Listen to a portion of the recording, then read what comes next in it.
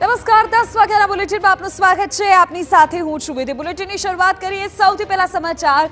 સૌરાષ્ટ્રવાસીઓ માટે છે. જી હા, સૌરાષ્ટ્રવાસીઓ માટે આરોગ્યને લઈને એક મહત્વપૂર્ણ સમાચાર સામે આવી રહ્યા છે, જે એમ્સની સતત રાહ જોવાઈ રહી હતી. તે લોકસભા ચૂંટણી પહેલા લોકાર્પિત થઈ શકે છે. વડાપ્રધાન નરેન્દ્ર મોદી રાજકોટની મુલાકાત લઈ શકે છે. આગામી પંદરથી વીસ ફેબ્રુઆરી વચ્ચે લોકાર્પણ થાય તેવી શક્યતાઓને વ્યક્ત કરવામાં આવી રહી છે. લોકસભા ચૂંટણીની આચાર સંહિતા પહેલા લોકાર્પણની શક્યતા. મોટા સમાચાર, રાજકોટ સહિત સૌરાષ્ટ્રના અ, તમામ લોકો માટે આરોગ્યને લઈને આ મોટા સમાચાર છે. લોકસભા ચૂંટણી પહેલા એમ્સ હોસ્પિટલનું લોકાર્પણ થઈ શકે છે. આપને કહી દઈએ કે પંદરથી વીસ ફેબ્રુઆરી વચ્ચે લોકાર્પણની શક્યતાઓને વ્યક્ત કરવામાં આવી રહી છે.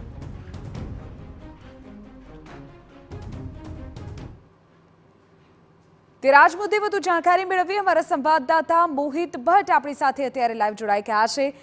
મોહિત જાણકારી મળી રહી છે કે લોકસભા ચૂંટણી પહેલા એમ્સનું લોકાર્પણ થઈ શકે છે. શું ગતિવિધિ અત્યારે ત્યાં જોવા મળી રહી છે?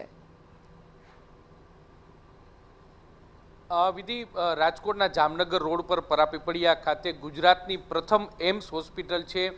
તેની જાહેરાત થઈ છે અને તે બિલ્ડિંગ છે તે તૈયાર થયું છે. પ્રાથમિક તબક્કે ત્યાં ગત ડિસેમ્બર માસથી જે જે ઓપીડી છે તે શરૂ થઈ ગઈ છે. હવે જ્યારે એમ્સનું મેઇન બિલ્ડિંગ છે તે પણ તૈયાર થઈ ગયું છે. બસો પચાસ બેડની આઈપીડી હોસ્પિટલ છે.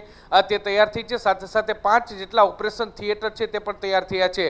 લોકસભાની ચૂંટણી પહેલાં પ્રધાનમંત્રી નરેન્દ્ર મોદી આ જે આઈપીડી જે છે અને બસો પચાસ બેડની જે હોસ્પિટલ છે તેનું લોકાર્પણ કરી શકે છે. રાજકોટ સહિત સૌરાષ્ટ્રભરના લોકો માટે આ મેડિકલ ક્ષેત્રે એક મોટી ક્રાંતિ છે તે થવા જઈ રહી છે. અત્યારે જે માહિતી મળી રહી છે તે પ્રમાણે પંદરથી વીસ ફેબ્રુઆરી દરમિયાન આ પ્રધાનમંત્રી નરેન્દ્ર મોદી છે તે રાજકોટ આવી શકે છે અને આ હોસ્પિટલ છે તેનું લોકાર્પણ છે તે કરી શકે છે. હાલમાં જે કેન્દ્રીય આરોગ્ય મંત્રાલય હોય, સાથે સાથે રાજકોટ જિલ્લાનું વહીવટીતંત્ર હોય, તેમના દ્વારા તમામ તૈયારીઓને આખરીઓ આપવામાં આવી રહ્યો છે.